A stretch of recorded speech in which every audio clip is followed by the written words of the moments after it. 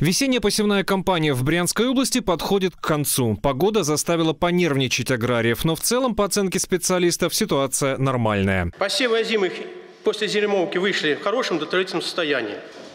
По прогнозу яровой сев сельхозпредприятий, фермерских хозяйств в текущем году будет размещен на площади свыше 400 тысяч гектаров, что на уровне прошлого года. Сельхозпредприятия были обеспечены в полном объеме семенами яровых культур. Элитных семян завезено около 2000 тонн. Сельхозтоваропроизводители области увеличивают долю семенного материала отечественной селекции. Вся посевная площадь сельхозкультур по прогнозу составит 890 тысяч гектаров, что на уровне прошлого года. Из них зерновых и зернобобовых культур 320 тысяч, технические культуры 161 тысяча, в том числе из них масличные 153 тысячи гектар, картофель 28 тысяч гектар, овощные культуры 412 тысяч гектар, кормовые культуры 381 и 2 тысячи гектар. Закуплены в необходимом объеме средства защиты растений, включая протравители. Минеральных удобрений приобретено 220 тысяч тонн, что на 10 тысяч тонн больше прошлого года. У нас по этому году будет 170 килограмм ДВ на гектар пашни внесено минеральных удобрений.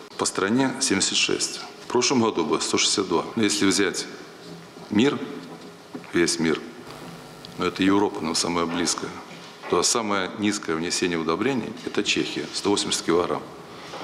Я вам как для политинформации. То есть, когда кто-то рот будет раскрывать, что мы много уносим, мы немного уносим, мы недоуносим.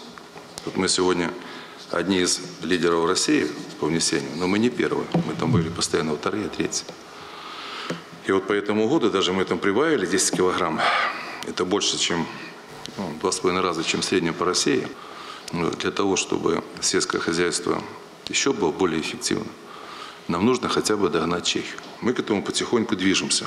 Мы движемся, поэтому имеем те показатели и те урожайности, которые есть. Мы не высасываем землю и не забираем последнее а мы именно землей работаем. В целом по России этой весной из-за заморозков погибло более 1 миллиона 200 тысяч гектаров сельскохозяйственных культур. В тех регионах, где это возможно, идет пересев. Брянщину морозы практически обошли стороной и навредили не сильно. Ну, в общем, оно не повлияло.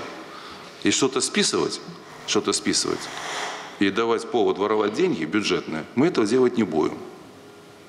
Тут везде надо всегда посмотреть бежать и следом за соседями списывать, мы этого не будем делать.